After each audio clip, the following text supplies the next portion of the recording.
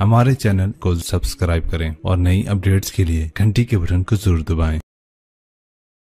آج کے اس دور میں عمومی دعوت، یہ دعوت و تبلیغ کے نام سے کام شروع ہے۔ حضرت مولانا الیاس رحمت اللہ علیہ کو اللہ رب العزت نے کام کی ایک ترتیب سجھا دی آج کے زمانے کے طور پر۔ چنانچہ سے روزہ اور چلا اور تین چلے اور نو مہینے، سات مہینے سال، یہ ایک ترتیب اللہ نے ان پر کھول دی، جس میں اللہ نے برکت ڈال دی۔ چنانچہ، آج عمومی دعوت کا کام اس طرح سے ہو رہا ہے امت کے اندر۔ لیکن دعوت کو اس میں محصور نہیں کر دینا چاہیے۔ بات سمجھ رہے ہیں؟ مثال کے طور پر، ایک صاحب، مجھے کہنے لگے جی آپ کے شیخ بھی کبھی اللہ کے راستے میں نکلے میں نے کہا، بھائی وہ تو ہر وقت ہی سفر کرتے رہتے ہیں، ان کا تو گھر کا قیام تھوڑا اور باہر کا سفر زیادہ نہیں نہیں، میں پوچھ رہا ہوں، اللہ کے راستے میں کبھی نکلے ہیں؟ میں نے پوچھا، اللہ کے راستے سے کیا مراد لے رہے ہو؟ کہنے لگا، یہ جو جماعت کی ترتیب ہے، تو یہ غلطی ہے. کیونکہ حدیث پاک میں نبی اسلام نے ارشاد فرمایا، من خرج فی طلب العلم، جو شخص علم کی طلب میں گھر سے نکلتا ہے، فہو فی سبیل اللہ. وہ اللہ کے راستے میں ہوتا ہے۔ تو جب اللہ کے حبیب فرما رہے ہیں کہ جو طالب علم گھر سے علم طلب کرنے کے لیے نکلتا ہے، وہ اللہ کے راستے میں ہوتا ہے۔ تو اس کو پھر جماعت کی ترتیب کے اندر محسور کر دینا یہ پھر غلطی ہے۔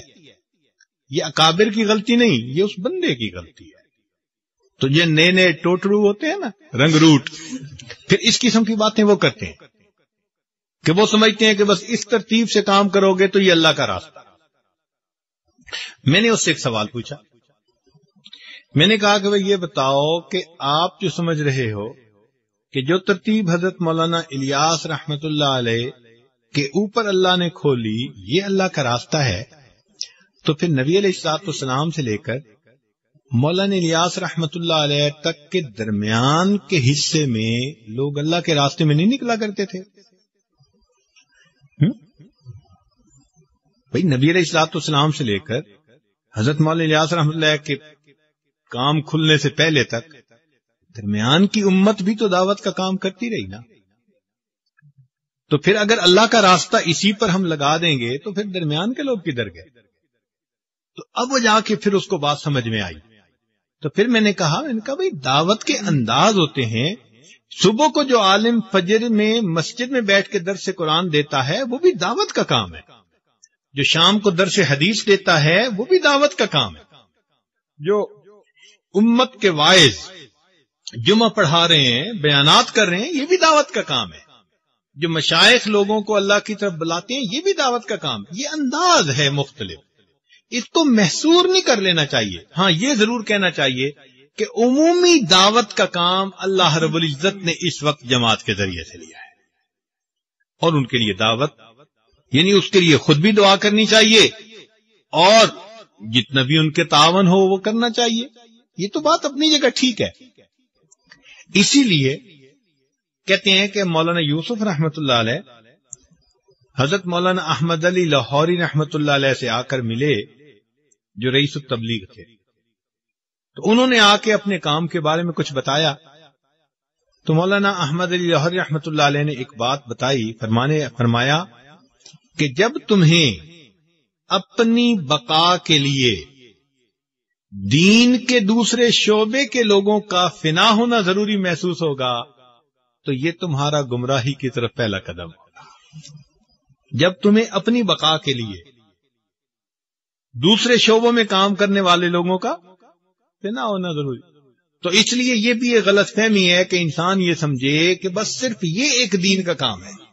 مدارس والے دین کا کام کر رہے ہیں اور یہ ترتیب نبی علیہ السلام سے چلی، صاحب اصاب سپا سے چلی اور آج تک چل رہی ہے۔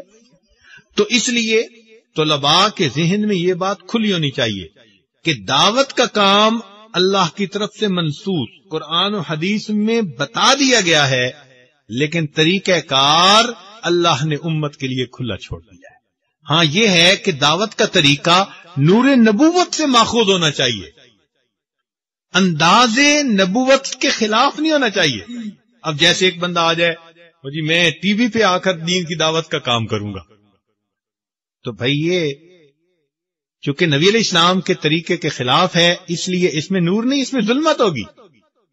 بات سمجھ رہے ہیں تو طریقہ کار ہر وہ ٹھیک ہوگا جو نور نبوت سے ماخوذ ہوگا۔ مگر اللہ نے اس کو کھول دیا۔ تو الحمد اس وقت پوری دنیا کے اندر اس جماعت کے ذریعے سے اللہ تعالیٰ دین کا کام کروا رہے ہیں۔ ہماری دن رات کی دعائیں ہمارے ان بھائیوں کے لیے اللہ تعالیٰ ان کی محنتوں کو قبول فرمائے اور ہمیں بھی اللہ تعالیٰ اس ترتیب پر چلنے کی توفیق عطا فرمائے۔ مگر جو مشائق کام کر رہے ہیں، جو سیاست کے ایوانوں میں ہمارے علماء کام کر رہے ہیں، یہ سارا کا سارا دین کا ایک حصہ ہے۔